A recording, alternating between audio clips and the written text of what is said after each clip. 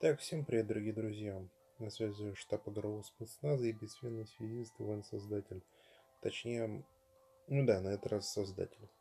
Нагибатор он должен быть э, всяких шутерах и так далее. И, как вы догадались по названию видео и по э, меню, я вернулся в бесконечное лето.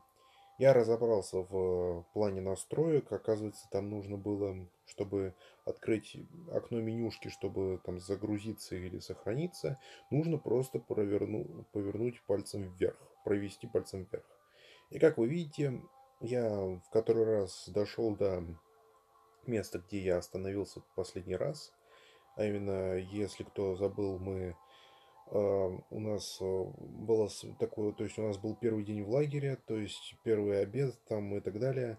А Ульянка у нас там отнимала котлету, там подшучивала над нами.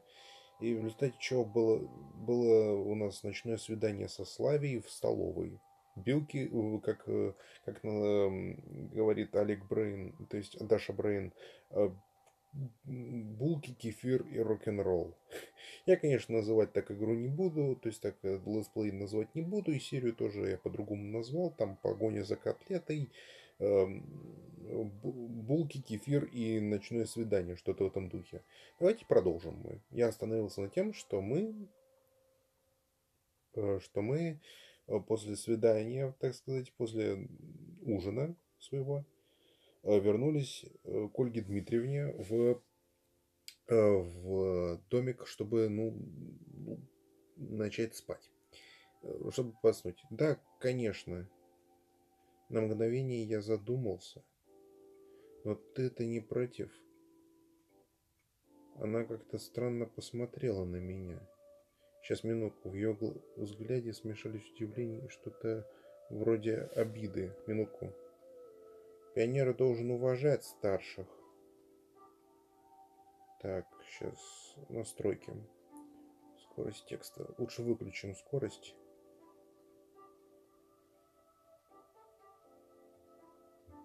Угу.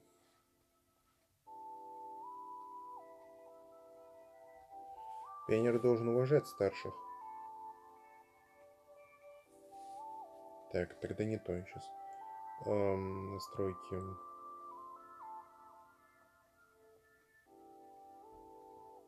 Так, время автоперехода мы выключим.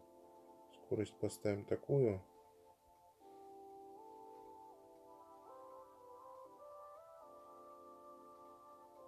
Так, стой, стой, стой, стой, стой.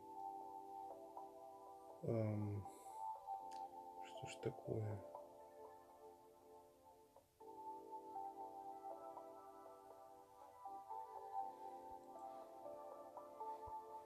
Вы, наверное, там успели.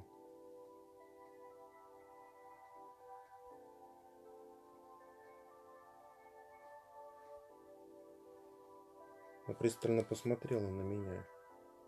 На такого взгляда расправился и бы и мифрил, выкованный из самых глубоких подземельях лучшими мастерами гномов. Что я? Да что-то не так-то.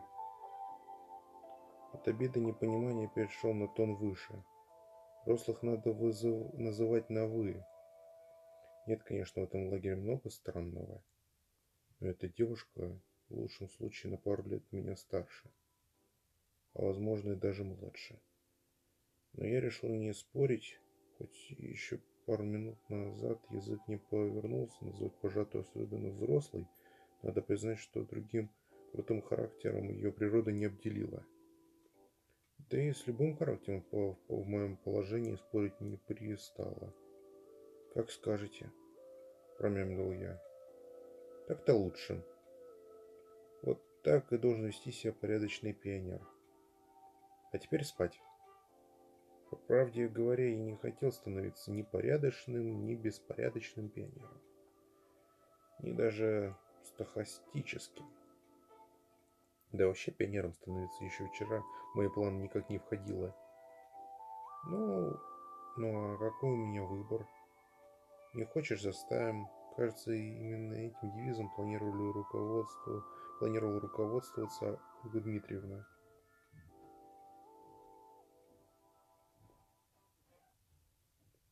Я лег, закрыл глаза и только тогда понял, что за весь день смертельно устал.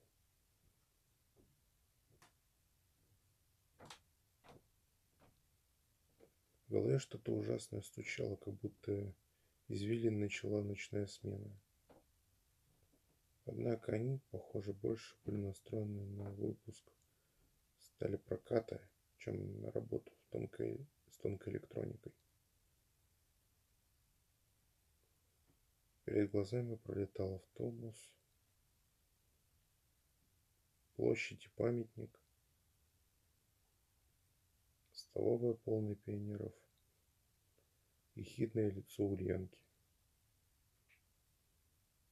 Славя, Лена. Даже воспоминания о болезни вызвали какие-то уж очень отрицательных эмоций.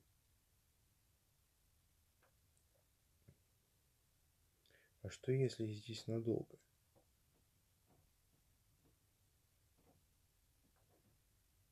День второй.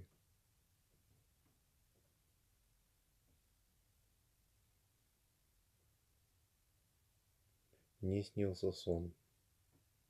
Казалось, я нахожусь в каком-то вакууме, а вокруг пустота. Не только вокруг, я единственный, но не только вокруг, я единственное существо во Вселенной. Как будто она вернулась в некое сингулярное состояние перед самым большим взрывом. И что-то, вот-вот что-то должно было произойти. И вдруг я начал слышать голос. Слов не разобрать, но он показался мне знакомым. Голос что-то нежно нашептывал, как будто убаюкивая. Тут я понял. Это был голос той незнакомки из автобуса. Той девушки из моей сна, моего сна. Что она хотела мне сказать? Кто она?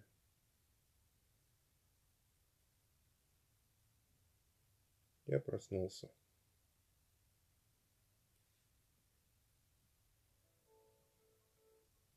Яркие лучи солнца били в глаза.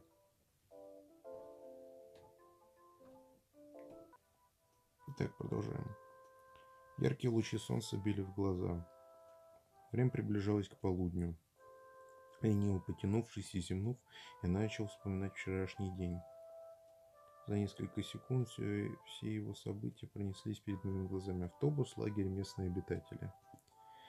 Но ведь все не так неправильно, не так неправильно.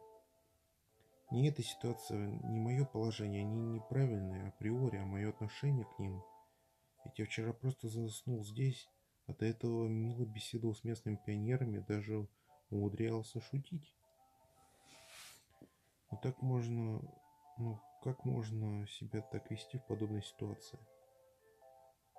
Я же должен бояться шарахаться от каждого шороха, избегать любого контакта с потенциально враждебными существами. Все события прошедшего дня словно заволокло похмельной дымкой. Это очень похоже на утро после хорошей пьянки. Естественно, не не предрассудите, не предусудительное, в высшей степени нормальное поведение утром становится кошмаром, гротескной гравюрой из иллюстрации божественной комедии. Да, все именно так, однако прошлого уже не вернуть. Хотя, возможно, оценив обстановку, я действовал по ситуации. Я огляделся по сторонам, пытаясь понять, не забросили ли меня куда-нибудь еще, но домик Ольги Дмитриевны выглядел так же, как и вчера. Все было как будто на своих местах, разве что на спинке кровати висела пионерская форма. Я с недоверием покрутил ее в руках, примерил и оделся. Все равно это лучше, чем ходить в зимней одежде. Посмотреть бы, си... бы теперь на себя, наверняка выгляжу как клоун. А для этого нужно зеркало. Хотя бы самое маленькое. Нашлось одно на дверце шкафа.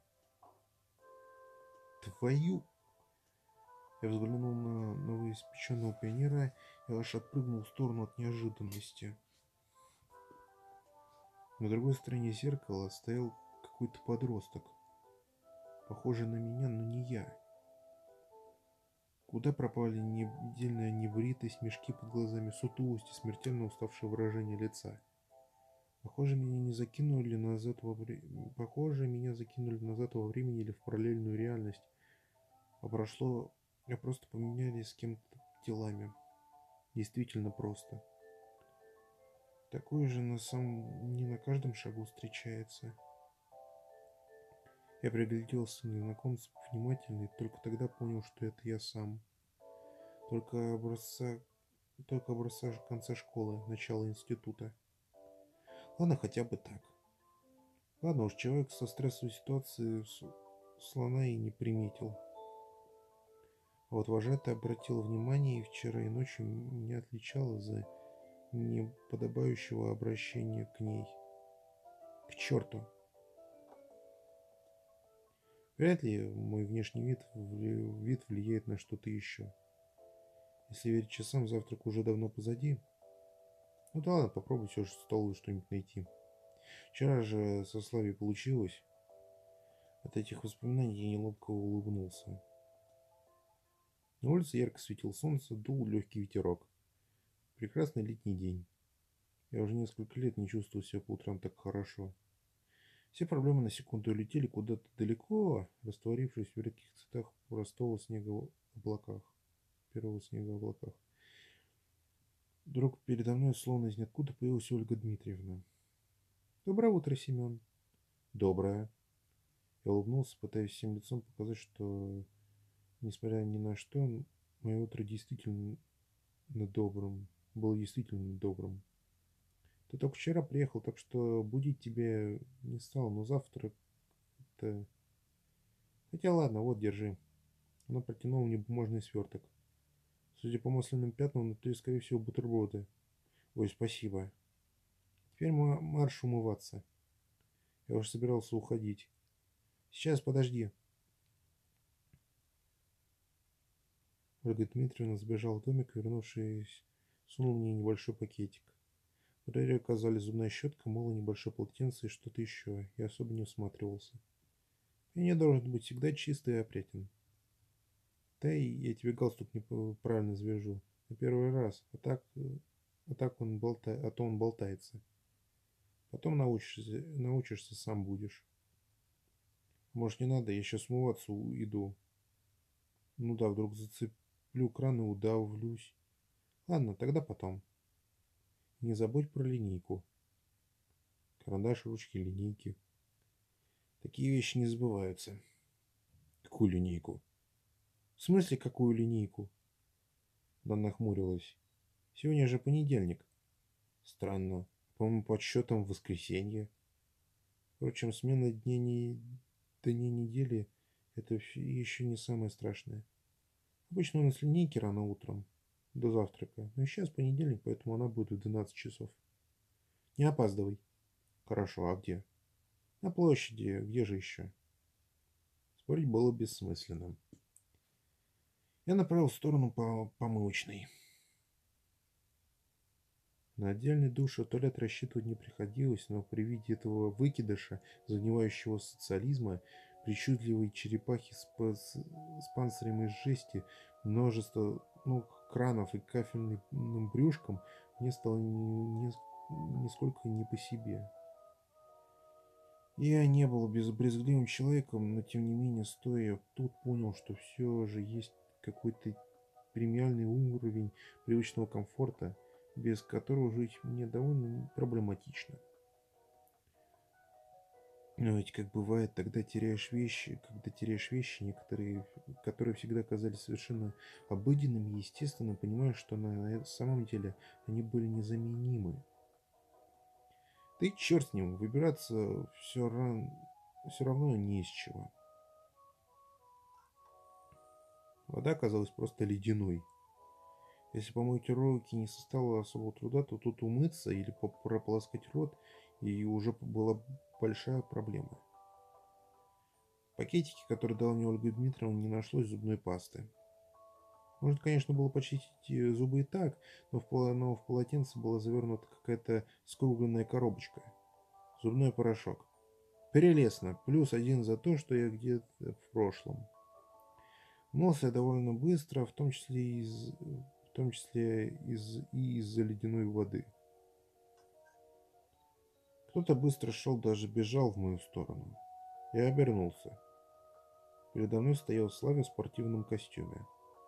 Похоже, эта девочка будет хорошо выглядеть абсолютно во всем. И в пионерской форме, и в купальнике, и, наверное, даже в космическом скафандре. Физкульт, привет. Охай, то есть добр, добр, доброе утро, вот. Приветствие мне удалось выбрать не сразу. Почему на завтрак не пришел? Проспал. Я сказал это так, словно гордился своим достижением. О, но мне Ольга Дмитриевна бутерброды принесла. А, ну отлично тогда, не забудь про линейку. Да, конечно. Забудешь тут. Ладно, я побежала, не скучай. Она помахала мне на прощание и скрылась за поворотом тропинки. Судя по всему, линейка начнется через пару минут. Стоило быстренько забежать домой, закинуть пакетик с умывальным принадлежностью, съесть бутерброды только уже потом идти на площадь. Я распахнул дверь домика вожатый и бежал внутрь, так как будто запрыгивал в последний вагон уходящего поезда. Мне кажется, это было не лучшим решением. Посреди комнаты стояла Ольга Дмитриевна и переодевалась. Я застыл как вкопанный, стараясь даже не дышать. Наконец вожатая заметила меня. «Семен!» Я тут же отвернулся. «Стучаться надо, а теперь вон!» Да, не, да неудобно получилось хотя и зрелище мне пришлось по нраву. Через минуту вышла Ольга Дмитриевна. «Вот, держи. Теперь это, твой, это и твой дом тоже». Она протянула мне ключ. Я положил его в карман. Дом. Конечно, если опустить в фантазмагорничность происходящего, это это лагерь, этот лагерь был далеко не самым плохим местом на Земле, но, казалось, назвать его домом всего за день, проведенный здесь. Вряд ли я смогу сделать даже, сделать даже спустя год. Ладно, пойдем, опаздываем. А как же бутерброды? По дороге съешь. Мы шли вдоль домиков пионеров. Я уплетал бутерброды с колбасой, Ольга Дмитриевна трещала без умолку. Во-во-во, как трансформатор. На меня не волновал ничего, кроме еды. Понял? А? Ты меня слушаешь? Ты, ми... ты не слушаешь? Простите. Сегодня начинается твоя новая пионерская жизнь. И ты должен приложить все усилия, чтобы она стала счастливой. А, да, конечно. Я серьезно, у пионера много обязанностей. На него возложена большая ответственность участвовать в общественной работе, помогать младшим учиться, учиться и еще раз учиться. Мы все тут э, как одна большая семья. И тебе предстоит стать ее частью. Да, частью. Я готов даже распираться в портби... расписаться в портбилете, лишь бы не слушать этот бред. Надеюсь, по окончании смены у тебя останутся самые лучшие воспоминания о нашем лагере. Воспоминания на всю жизнь. А когда смена заканчивается? Что ты постоянно всякие глупости спрашиваешь? Похоже, ответов нее мне не добиться. А жаль. Этот мир кажется дружелюбным, но вот представиться, представиться он так и не соизволил. Возможно, сейчас я отношусь к этому несколько спокойнее, чем вчера. Как будто у нас с ним негласное перемирие, он не трогает меня, но и меня запрещено давать какие-либо вопросы. Конечно, ситуация не из приятных, но что мне остается? Плохой мир лучше доброй ссоры. Самое главное для тебя использовать время, которое ты проведешь здесь с пользой. Я постараюсь. Честно говоря, этот, этот разговор меня сильно утомил узнать хотя бы э, здесь, то есть узнать хотя бы, где это здесь находится. Но мы пришли на площадь. Пионеры уже выстроились в шеренгу. А что, еще не, не все пришли? Да вроде все. Она кинула взглядом свой бравый пионер-отряд. Ладно, иди становись. Странно. Почему тогда она мне сказала, что больше спальных мест нет? Пока вожатая рассказывала о плане мероприятий на неделю, я смотрел присутствующих. Паре человек от меня стоял электроник, чуть дальше Лена и Славя, а на самом конце Ульянка и Алиса. Все знакомые здесь. Ольга Дмитриевна говорила про какие-то спортивные соревнования и уставился на памятник. Генда. Не удавалось вспомнить ни одного революционера с похожей фамилией. Да и поза у него какая-то странная, как будто смотрит на происходящее с недоверием, может быть, пренебрежением и даже надменностью. Наверное, какой-то местный деятель. О чем мечтаешь? Слава вывела меня из раздумий. Рядом стояла Ольга Дмитриевна. Ты запомнил план на неделю? План? Э, план никогда не забуду. Вот и отлично. Она посмотрела на Славу. Принесла? Да. Слава протянул мне какой-то листок. Это необходим лист. Тут четыре позиции. За сегодня тебе нужно везде отметиться. Во-первых, записаться в клуб. Они у нас в здании кружков и отдельным, то есть в здании кружков и отдельно музыкальный. Во-вторых, в медпункт зайти. И в-третьих, в библиотеку. Все понял? Да. Обходной оказался неплохой возможностью, чтобы что-нибудь выяснить, так как в этих локациях я еще не бывал. Тогда давай начинай прямо сейчас. А как же обед? Ничего страшного, я тебе еще бутербродов принесу. Обходной лист важнее. Удачи тебе. Они ушли так быстро, что я слова сказать не успел. Пропустить завтрак теперь обед придется. Да что же это такое? Впрочем, может, успею как-нибудь. Обед в час. Хотя, если я пойду есть, я могу не попасть в какое-нибудь место из списка. Ладно, пока все равно в столовую идти. Так. Общие кружки. Кухня, столовая, медпункт. Так. Давайте зайдем, пожалуй, эм... Так, давайте, пожалуй, в музыкальный кружок зайдем. Музыкальный клуб, небольшое одноэтажное здание, располагалось поодаль от остальных построек лагеря. Не раздумывая, я открыл дверь и вошел.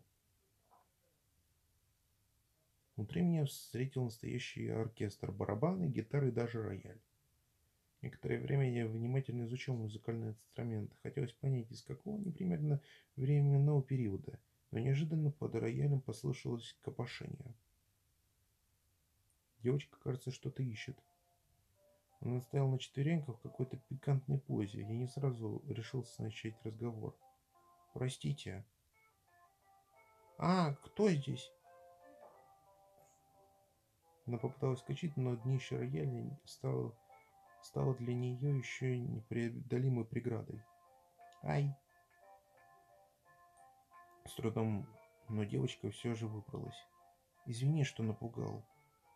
Да ничего, вижу у тебя обходной новенький, значит. А, да. Меня Мику зовут. Мику Амигуруми, или как там называется. Нет, честно-честно, никогда не ве... Никогда никто не верит, а меня и вправду так зовут. Просто у меня мама из Японии. Папа с ней познакомился, когда строил там. Ну, то есть не строил, он мне инженер. Короче, атомную станцию или плотину, или мост, ну, неважно. Она говорила с такой скоростью, что половину слов просто проглатывала. А я Семен. Отлично, не хочешь к нам в клуб вступить? Правда, я тут пока одна, но с тобой нас будет двое. Ты на чем-нибудь играть умеешь? Уже в период моего отшельничества я купил гитару, выручил пару аккордов, но потом забросил, как и все, на что требовалось больше несколько часов. Знаешь, я как-то не планировал особо. Да ладно тебе, я тебя научу играть. Хочешь на трубе, например, или на скрипке – я на всем умею, честно и честно. Спорить с девочкой мультипли... мультиинструменталистом бессмысленно, так как в ответ наверняка последует еще одна пулеметная очередь из слов. Я подумаю пока, а, то есть подумаю, а пока не могла бы мне под... ты подписать? Да-да-да, конечно, давай. Ты заходи, не стесняйся.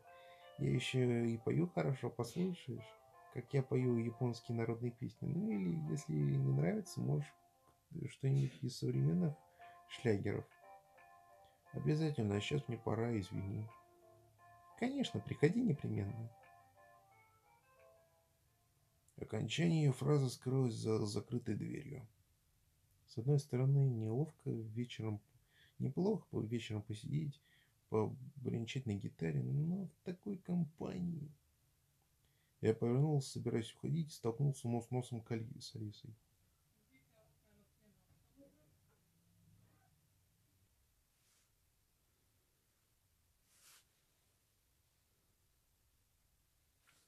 Она недобро посмотрела на меня. Зачем пришел? Обходной. Подписал? Да. Свободен. Алиса вошла внутрь, а я поспешил покинуть это место. Так, библиотека. Давайте-ка пойдем пожалуй, в... Сейчас. Давайте в общие кружки. Я направился к зданию кружков. По правде говоря, мне никогда особо не нравилась общественная работа.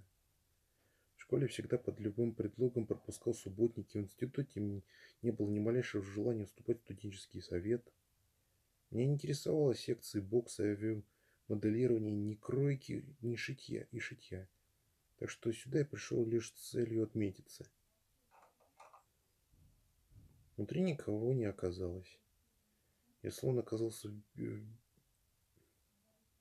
прилоге юного робототехника. Повсюду валялись провода, нехи, планы. Микросхемы на столе стояла осциллограф.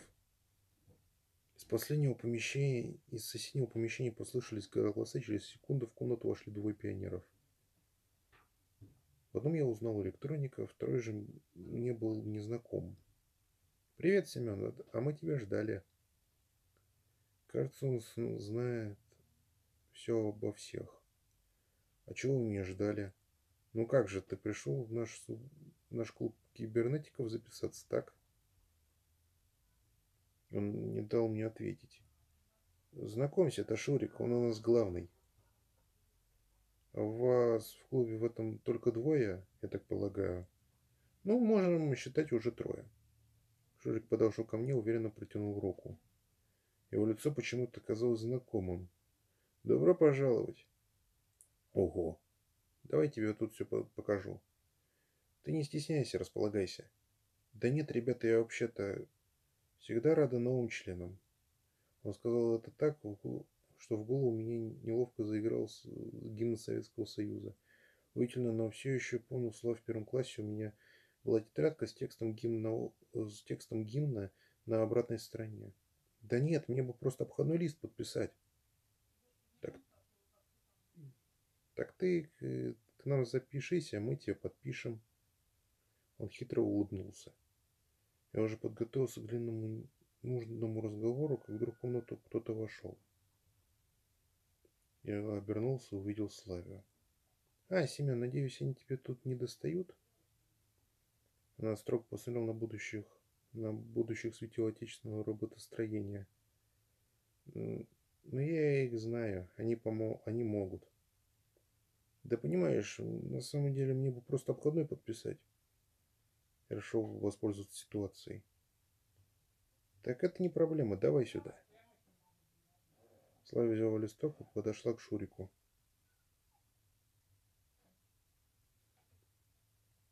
Подписывай. Ну, подожди, мы еще не закончили. Закончили? Подписывай. Она посмотрела на него так, что возражать Шурик не решился. Она поставила за... Он поставил свою закорючку, и я, поблагодарив Славю, с чистой совестью направился дальше. Так, думаю, на этом раз мы сделаем перерывчик. Всем удачи и всем пока.